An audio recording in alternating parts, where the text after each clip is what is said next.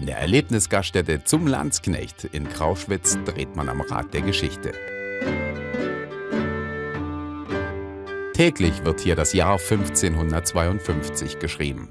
Ob Herrschaft oder Bauernvolk, alle feiern hier ihre Gelage bis in die Morgenstunden. Gar wunderlich muten die Sitten und Gebräuche aus längst vergangener Zeit dem Gast an. Empfangen wird man vom Burgvogt persönlich. Mägdetafeln Obst, Brotlaibe, Gesottenes von Sau- und Federvieh sowie Tonkrüge voll Wein und Bier auf.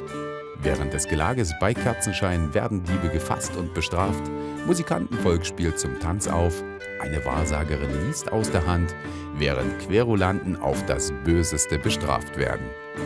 Wer einen solchen altertümlichen Abend als Gruppen-, Familien- oder Firmenfeier erleben will, kann das Mittelalterspektakel in der Gaststätte zum Landsknecht zu Krauschwitz buchen.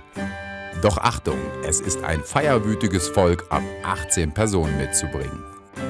Es war einmal, doch nicht im Landsknecht. Da wird noch immer ausgiebig gefeiert.